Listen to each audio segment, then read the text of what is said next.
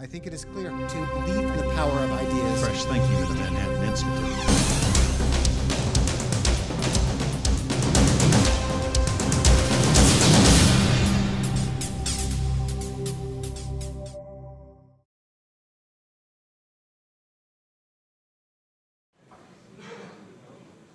Good morning. I'm, I'm Howard Husock. I'm the Vice President of the Manhattan Institute. It's my pleasure to be here this morning to introduce our conference on the importance of building a national electricity distribution grid, and especially to introduce our senior fellow, Peter Huber, author of the paper entitled The Million Volt Answer to Oil, which is the cornerstone for today's conference. First, permit me a few words about the Manhattan Institute for those of you who may not be familiar with us. We're a policy research institute based in New York, and our interests are national in scope. They include a wide range of domestic policy issues, from health care to housing, tort reform to policing practices. Of late, we have a special interest, as many concerned with, in public life do today, with infrastructure, and this conference is part of a series of, uh, of similar conferences and research projects on both transportation and energy infrastructure. This morning's conference is a product of our Center for Energy Policy and the Environment, a center, a center whose name reflects its underlying principle that it is both possible and crucial for the United States to find ways to reconcile our mission to protect the environment with the need to meet our ever increasing demand for the energy which fuels our economic growth and prosperity. The man who has served as the guiding intelligence for our center is our main speaker this morning, Peter Huber. In both his books, Hard Green and The Bottomless Well, co authored with Mark Mills, he's made the case that environmental stewardship need not come at the cost of growth and prosperity.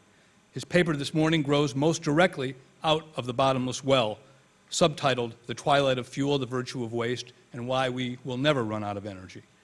It traces the history of energy consumption and argues that technological innovation can serve as the antidote to scarcity and historically has. It's received wide acclaim, garnered praise, for instance, from Bill Gates, who describes it as the only book I've ever seen that really explains energy, its history, and what it will be like going forward. Following Peter's presentation, we'll hear from a distinguished panel moderated by Steven Hayward of the American Enterprise Institute, which will discuss the ways and means through which the idea of a national electricity grid might be realized. And finally, we're pleased to provide this forum for our closing speaker this morning, former New York Governor George Pataki, who will reflect on the political challenges we face in balancing, balancing growth in energy supply with environmental protection. I turn now to Peter Huber, as I said, a senior fellow at the Institute and a regular contributor to our quarterly City Journal. He's the author of eight books, including, in addition to The Bottomless Well and Hard Green, Galileo's Revenge, Junk Science in the Courtroom, and The Liability Maze and Law and Order in Cyberspace. A regular columnist for Forbes, his work has appeared in the Harvard and Yale Law Reviews, as well as the Wall Street Journal Science, Regulation, and National Review. Peter's a graduate of the Harvard Law School, holds a doctorate in mechanical engineering from MIT. Ladies and gentlemen, Peter Huber.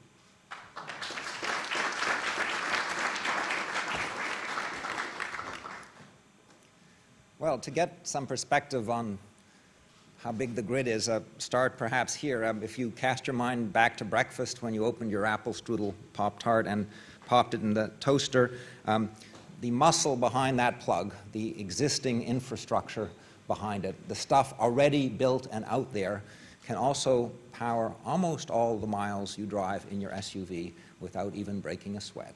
Uh, idle capacity, unused capacity in the system can could, if connected directly to the wheels of our car, um, provide just about all the miles we drive in our passenger cars. Um, boost uh, output of the power plants, generate about 10% more electricity, and you could, in addition to that, uh, displace just about all the oil-fired residential heat in the country with electric-powered heat. Um, and by the way, you could do this um, at a price in our cars. Uh, we would get miles that gasoline engines could match only on gasoline priced well under a dollar a gallon. And in our residential homes, uh, at least off-peak electric prices, which are the prices you would get at night when you're heating most of the time, um, uh, would uh, the electric uh, heat would readily beat $4 a gallon uh, heating oil. Um, electricity, not oil, uh, is in fact the heart of our energy economy. not in dollar terms. In dollar terms, roughly at the moment, um, at $100 a barrel, we're spending about $700 billion a year on oil in the United States. We are spending a mere 350 billion, half that, on retail electricity. So in dollar terms, we tend to think and worry and focus more on oil. But in energy terms, we pour much more, uh, as much raw energy into the uh, electric uh, grid as we get from all the oil that gushes into our cars and trucks and planes and chemical plants and factories and home furnaces.